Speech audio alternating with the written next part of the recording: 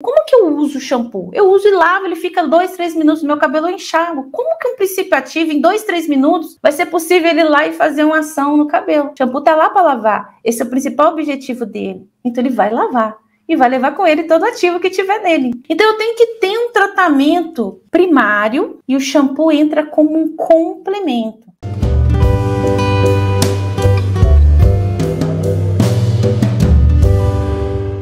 Então, primeiro, o shampoo vai lavar seu cabelo. Segundo, ele não fica tempo suficiente com ativo no couro cabeludo para fazer uma ação de fato anti-queda. E terceiro, como que eu vou personalizar? É de acordo com uma necessidade. Então, o shampoo, ele vai complementar um tratamento que tem que ser indicado. Então, aleatoriamente, ele não vai funcionar para você, porque você não tem como saber o que tem naquele shampoo que ele realmente vai ajudar, porque a única informação que você está olhando naquele é anti-queda. Então, sempre quando você perceber que seu cabelo está caindo, primeira coisa, você não vai lá e falar, vou comprar um shampoo anti-queda. Não. Agora você não vai falar mais isso. Porque eu sei que tem muita verdinha aí, eu sei que tem muita gente do portal APS aí, do portal da beleza aí, e que sabe o que precisa fazer. Você precisa definir um tratamento personalizado, individualizado. O que, que eu tenho para oferecer? Eu tenho protocolos direcionados com óleos essenciais.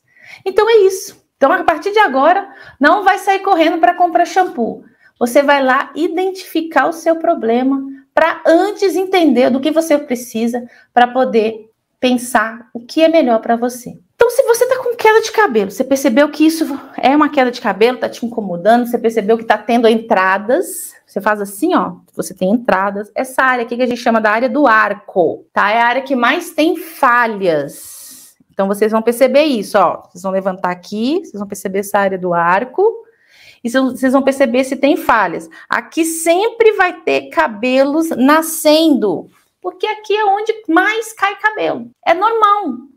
Essa região do arco é onde o cabelo cai mais do que o restante da cabeça. Mas ele vai cair de tudo, lógico. Mas aqui é... E outra coisa, aqui é uma região que eu vejo. É diferente também. Outra coisa, levanta, vocês vão levantar o cabelo assim, ó. E vão perceber se você está você enxergando ou não as passagens aqui do couro cabeludo. Porque se estiver vendo com facilidade, sinal que está faltando cabelo aí. Outra dica importante: vocês vão partir o cabelo aqui no meio, fazer aqui nessa essa, esse risco aqui no meio, né, na reta do nariz aqui, tá? Aí vocês vão ver, não consigo, meu cabelo já está jogado para cá. Então vocês vão ver a distância aqui, ó. Quanto maior, se tá, essa distância está muito grande, sinal que tem queda de cabelo aí. Então, seu cabelo está ficando mais ralo. Então, está faltando, você percebe que está faltando fio. Mas, por outro lado, você vê que tem fios novos nascendo, mas eles não estão se desenvolvendo. Então, aí você tem que estimular um crescimento. Então, quando você começa a identificar isso, você vai poder pensar o que, que, o que vai fazer. Então, vamos lá. Se você está com queda de cabelo, o que você precisa fazer? Primeira coisa, você precisa saber por quê? Porque se eu identifiquei uma queda agora, é porque meu cabelo não estava caindo antes, não é verdade? Então, por que seu cabelo está caindo? Ah, Mayra, eu cheguei na menopausa. Ah, eu tive bebê, tô amamentando. Ah, o meu cabelo está caindo porque eu fiz uma cirurgia bariátrica. Ah, meu cabelo está caindo porque eu fiz uma dieta muito rigorosa, emagreci muito. Ah, passei por um, uma enfermidade. E aí você sabe a causa.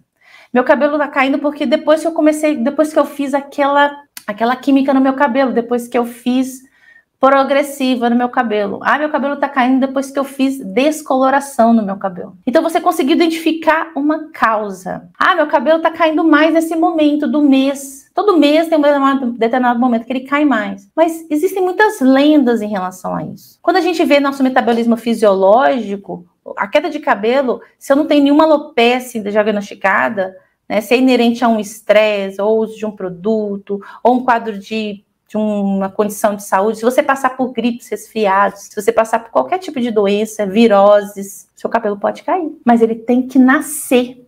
Não significa que você tem calvície. Mas às vezes seu cabelo vai ficando mais ralo porque você não cuida adequadamente. E aí ele vai ficando mais fraco porque ele precisa de nutrição, ele precisa de cuidado, ele precisa de estímulo para ele poder se desenvolver de uma forma muito saudável. Pós-Covid, cai mesmo. Não só Covid, como qualquer doença infecciosa. E aí você percebe que eu tive uma doença, então eu descobri a causa. Então, por que da queda? Isso é o primeiro passo. Ah, mas Maíra, mas por que eu tenho que saber por quê? Eu não posso só tratar? Porque, dependendo do estímulo, você vai lá e tenta resolver essa causa. Porque não adianta eu ficar estimulando também meu cabelo se eu tiver um estímulo o tempo todo ali fazendo ele cair. Então, ele também não vai resolver o seu problema. Existem alguns tipos de alopécia que não tem cura. Alopecia androgenética, alopecia cicatricial, alguns casos mais graves de alopecia areata. Isso é um caso médico. Outra coisa também, cada um precisa entender a necessidade dos seus cabelos e do seu couro cabeludo. Você precisa se autoconhecer para você poder entender essas mudanças no próprio corpo. E aí você conseguir fazer alguma coisa antes que aquilo evolua muito. Isso também é importantíssimo. Olha só que interessante também aqui.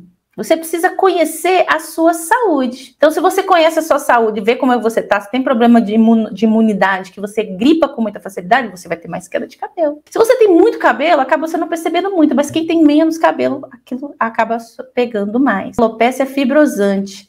Vale fazer tratamento com óleos essenciais? Vale. Vou te falar que vale. Apesar de ser uma alopecia, né, que tem essas, que é um tipo de alopecia cicatricial, muda o tecido, mas aí a gente precisa entender como é que está esse tecido. Inclusive, os óleos essenciais têm uma ação anti-inflamatória. Ela vai ajudar também Talvez ela não cure, mas ele vai ajudar num processo de prorrogar ao máximo essa queda de cabelo, segurar ao máximo esse cabelo, melhorar esse couro cabeludo dessa área fibrosada. Lógico que junto com o acompanhamento. Então vocês têm que pensar nisso. Outro ponto importante: tenta entender o que aconteceu com você antes de você começar a perceber que seu cabelo tem caído. O que aconteceu? Você passou por algum trauma emocional? Aconteceu? Você teve algum problema? Passou por um estresse? Isso é importante, porque também, de repente, a gente identifica algo lá atrás. Se você está com problemas de saúde detrimento de uma insônia, então a gente consegue resolver a questão da insônia. Então, eu consigo trabalhar causas, não só o tratamento pontual local no couro cabeludo. Então agora a gente está dando um passo a mais.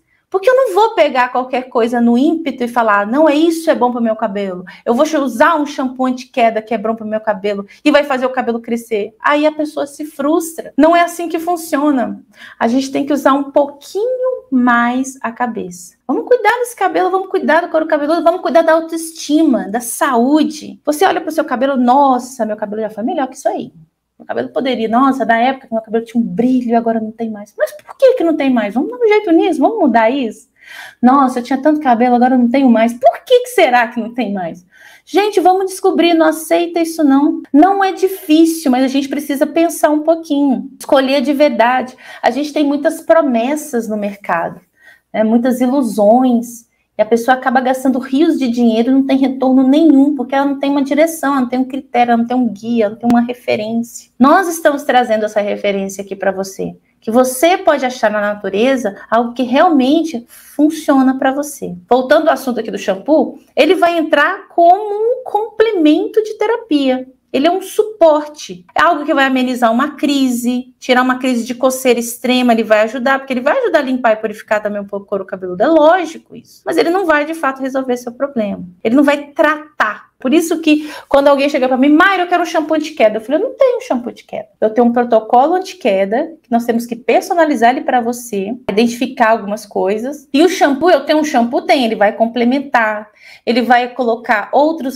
substâncias que são solúveis né, em água, que eu não consigo colocar num blend de óleos essenciais, por exemplo. E o condicionador idem, o condicionador vai ajudar a dar massa para o cabelo. Vai ajudar a colocar, eu posso colocar no condicionador aminoácido, porque o condicionador também, ele vai ficar pouco tempo no cabelo. Então, aquele tempo que tem ali, o cabelo tem que puxar o ativo, e aí? É pouco tempo. Como é que eu vou tratar com shampoo e condicionador, gente? Então, vamos colocar um pouquinho a mão na consciência e pensar nisso? Fala, mas como assim, né? Eu vou tratar com shampoo se eu fico lá, lavo o cabelo um minuto, dois minutos? E aí, que tipo de tratamento é isso? Faz sentido isso para você? Isso que vocês têm que pensar. Escolha com calma, não vai no impulso. Pense, é disso que você realmente precisa? E você vai encontrar a solução para você. Tratamento de queda de cabelo, nós precisamos de método. E o, que tem por trás desses protocolos? É metodologia, é estudo, é referência. Eu preciso estudar para entender esses ativos, os óleos essenciais, como eles funcionam.